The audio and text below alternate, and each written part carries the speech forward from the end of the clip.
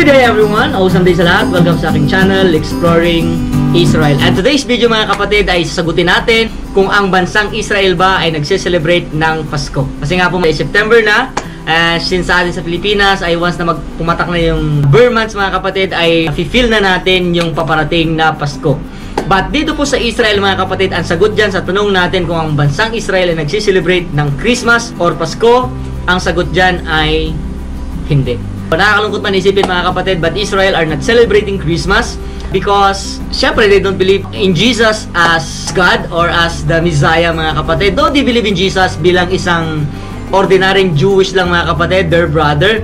But para sa kanila mga kapatid, si Jesus isa lang po siyang tao na dati ay nasa Judaism and then lumabas siya mga kapatid sa kanilang religion and nagpatayo po siya ng sarili niyang uh, religion mga kapatid. That is called Christians. So, dito po sa Israel mga kapatid, pag dumarating po yung Pasko, instead of celebrating Christmas, they are celebrating Hanukkah Festival or the Festival of Lights. So, syempre, kung nandyan yung Festival of Lights, eh, marami rin mga ilaw mga kapatid doon sa Israel at parang Pasko na rin. But, syempre, hindi po nila sinicelebrate yung essence talaga ng Pasko which is the birth of our Savior Jesus Christ. Do meron po ditong lugar mga kapatid sa Israel na mafe-feel nyo po mga kapatid ang Christmas. Kasi nga, ang lugar na ito mga kapatid ay mga mostly ay Arab Christians. So, yan po ay ang lugar ng Nazareth. So, kung pumunta kayo ng Nazareth mga kapatid, ma-feel nyo po yung Pasko dahil marami po mga tindahan na bukas at nagtitinda po ng mga Christmas lights, different kinds of decorations for Christmas.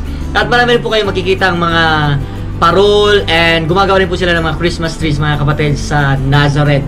So kasi nga yung mga nakatira doon ay mga Arab Christians. So if you want to feel Christmas, pumunta po kami sa Nazareth at hindi lang po sa Nazareth mga kapatid, Bethlehem are also celebrating Christmas because marami na po doon mga kapatid na mga Christian Arabs. Kaya pagpatak mga kapatid ng December 8, nafe-feel nyo na po yung Pasko doon. Syempre nakakamiss din sa Bethlehem yung napakalaking Christmas tree na lagi po nilang pine-prepare doon sa Nativity Church because we believe that Bethlehem is the birthplace of our Savior Jesus Christ. This is just a simple knowledge mga kapatid dito po sa bansang Israel. So kung meron po kayo mga karagdagan mga kapatid, comment sa ating uh, videos. Comment nyo na po sa ating comment section.